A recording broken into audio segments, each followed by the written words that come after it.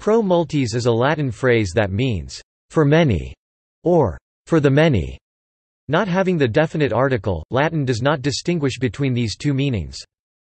The phrase is part of the longer phrase, qui pro vobis et pro multis effundetur in remissionem peccatorum, used, with reference to the blood of Christ, in the consecration of the wine in the Roman Rite Mass. In the definitively approved English translation this longer phrase appears as, which will be poured out for you and for many for the forgiveness of sins." The phrase, "'poured out for you' comes from Luke chapter 22 verse 20 only. "'Poured out for many' is from Matthew chapter 26 verse 28 and Mark chapter 14 verse 24. "'For the forgiveness of sins' is from Matthew chapter 26 verse 28 only. 1 Corinthians chapter 11 verse 25, the earliest account of Jesus' words over the cup at his Last Supper, mentions none of these phrases in relation to the consecration of the wine. The variety of these accounts indicates that the writers did not intend to give the exact words that Jesus used, probably in Aramaic. The only words that are considered essential for the consecration of the wine at Mass are, "'This is my blood' Though the form of the sacrament, which varies according to the liturgical rite Roman rite, Byzantine rite, etc. contains other words as well, biblicist Albert Van Vanhoye said that Hebrew urbum rabbim, translated in Greek as pollen, pollen means a great number without any specification as to whether this refers to a totality.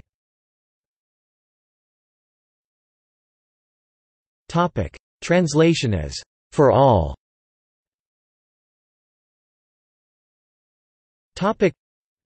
Several initial vernacular translations of the Roman Missal employed for all instead of for many to represent the phrase pro multis in the Eucharistic prayer.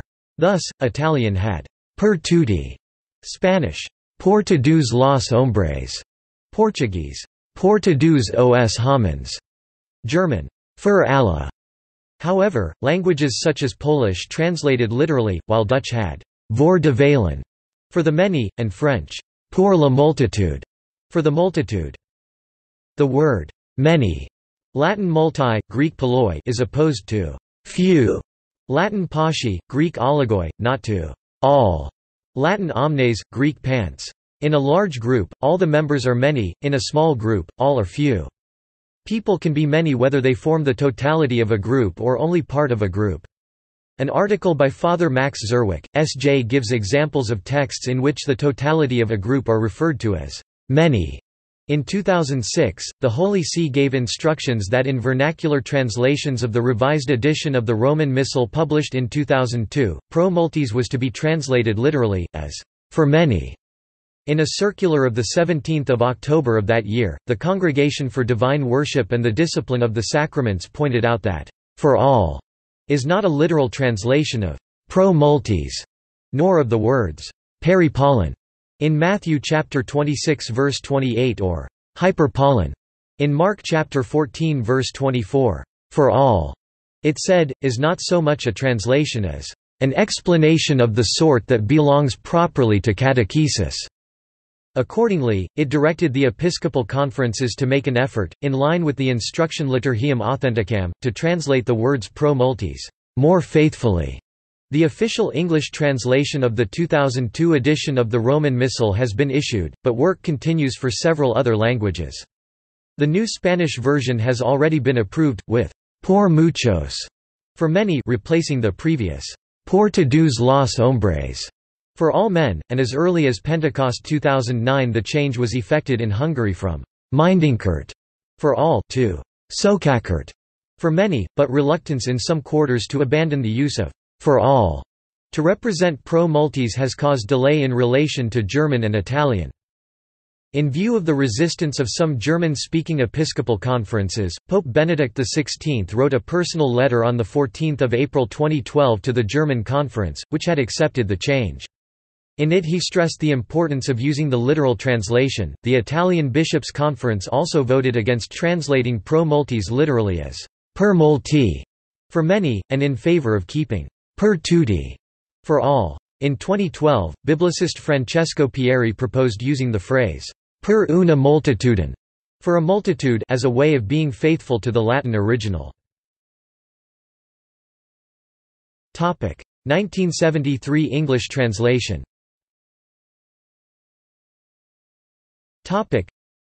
in its initial translation of the Order of Mass, the International Commission on English in the Liturgy rendered the phrase, Qui pro vobis et pro multis effundetur in remissionem peccatorum, as, which will be shed for you and for all men, so that sins may be forgiven. The word, men, was later omitted because of complaints that it could be understood as referring only to males. This version was approved by the Episcopal Conferences of English speaking countries in 1973 and confirmed by the Holy See. It has now been replaced by a more accurate translation. The 1973 translation was confessedly a non-literal translation, and objections were raised against it not only for this reason but also on the grounds that it could be taken to mean that all are in fact saved, regardless of their relationship to Christ and His Church. Some even claimed that use of the «for all» translation made the consecration invalid. As mentioned in the introduction, biblicist Albert Vanhoye stated that «Pauline» does not exclude the meaning «all», and consequently the English word many is not an accurate translation as it excludes all. In defense of the 1973 translation, it was said that the literal translation, for many, could nowadays be taken to mean, not for all, contradicting the declaration in 2 Corinthians chapter 5 verses 14 to 15 that Christ died for all, though not all choose to avail of the redemption won for them by the shedding of Christ's blood. Topic: Translation as, "...for the many". The Dutch bishops chose to translate pro multis as, "...voor de velen", for the many. The German Bishops' Conference also initially decided to translate pro multis as, "...für die vielen", for the many, which was to be explained in catechesis as meaning, "...for all". However, under the influence of a movement that began in Italy and spread to other countries, they then decided in 1968 to adopt instead, für alle, for all. The French conference used, pour la multitude, for the multitude, but the Italian Bishops' Conference has rejected this expression for use in the Mass in Italian, for many, rather than, for all, or, for the many, is now the official translation in English. The Holy See is insisting on the same for the German translation, with Pope Benedict XVI pointing out that, "...neither Matthew nor Mark uses the definite article, so it is not for the many, but for many." In fact, the Latin liturgical phrase pro multis is drawn from Matthew chapter 26 verse 28, which in the original Greek reads peri pollen, peri pollen, the form used in the Byzantine Greek liturgy, and from Mark chapter 14 verse 24, which in the original Greek reads hyper pollen, hyper pollen. Unlike Latin, Greek has the definite article, which appears in neither passage. For many, not for the many, is also how all English translations of the Bible translate these phrases. In the view of Manfred Hauke, use in the liturgy of for the many would be a shabby compromise. Hebrew urbum rabbim, translated in Greek as pollen, pollen means a great number without any specification as to whether this refers to a totality. This also is without the article, urbum rabbim, not herbum harabim. For whom was Christ's blood shed?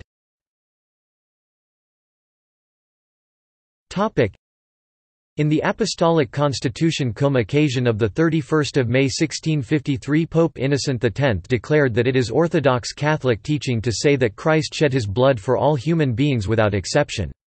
Indeed, the traditional blessing of a paten found in the Pontificale Romanum includes the phrase, Jesus Christ thy Son, who for our salvation, and of everyone, pro nostra omniumque salute chose to immolate himself to thee, God the Father, on the gallows of the cross." It is also Orthodox Catholic teaching that not all will necessarily avail of the redemption obtained by the shedding of Christ's blood. While Christ's redemptive suffering makes salvation available to all, it does not follow that all men are actually saved. This seems never to have been authoritatively defined, since it has remained uncontroversial. The Roman Catechism, also known as the Catechism of the Council of Trent, stated, if we look to its value, we must confess that the Redeemer shed his blood for the salvation of all, but if we look to the fruit which mankind have received from it, we shall easily find that it pertains not unto all, but to many of the human race." It would be heretical to interpret, for many, in the words of consecration of the wine as indicating that there were some for whom the shedding of Christ's blood was in itself incapable of redeeming its value.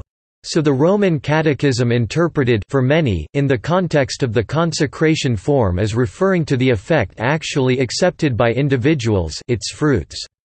It declared, when therefore our Lord said, For you, he meant either those who were present, or those chosen from among the Jewish people, such as were, with the exception of Judas, the disciples with whom he was speaking. When he added, and for many, he wished to be understood to mean the remainder of the elect from among the Jews or Gentiles. In this, the Roman Catechism differed somewhat from the Summa Theologica of St. Thomas Aquinas. This interpreted, for you, as a reference either to the elect among the Jews, who witnessed the blood shed in the Old Testament sacrifices, or to the priest and the faithful partaking of Mass, and it took, for many, to refer either to the elect among the Gentiles, or to those for whom Mass is offered, the Catechism went on to say with regard to the words used in the Roman canon, with reason, therefore, were the words for all not used, as in this place the fruits of the Passion are alone spoken of, and to the elect only did his Passion bring the fruit of salvation. And this is the purport of the Apostle when he says, Christ was offered once to exhaust the sins of many, and also of the words of our Lord in John, I pray for them, I pray not for the world, but for them whom thou hast given me, because they are thine. It would also be heretical to interpret, for all, in the words of consecration of the wine as indicating that, without any exception, everybody must in concrete fact receive the benefit won by the shedding of Christ's blood. So the Holy See has interpreted for all in the 1973 English translation of the consecration form as referring to the value of the shedding of Christ's blood and to his intention. On 25 January 1974, the Congregation for the Doctrine of the Faith declared that there was no doubt whatsoever regarding the validity of Masses celebrated using «for all» as a translation of «pro multis», since «for all» corresponds to a correct interpretation of Christ's intention expressed in the words of the consecration, and since it is a dogma of the Catholic faith that Christ died on the cross for all cf. John chapter 11 verse 52, 2 Corinthians chapter 5 verses 14 to 15, Titus chapter 2 verses 11, 1 John chapter 2 verse 2. Topic: References Topic. Topic. External links Topic. Circular Letter 467-05, L of 17 October 2006 from the Congregation for Divine Worship and the Discipline of the Sacraments on the translation of Pro Multis. Pro Multis. Can it mean, for all? Why, for all? In the words of consecration?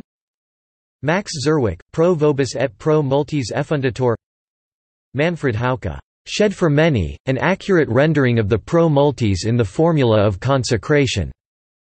In Antiphon 14.2 2010, John F. McCarthy, The Sacramental Validity of For You and For All, in Living Tradition, organ of the Roman Theological Forum Matt C. Abbott, Schismatic Traditionalists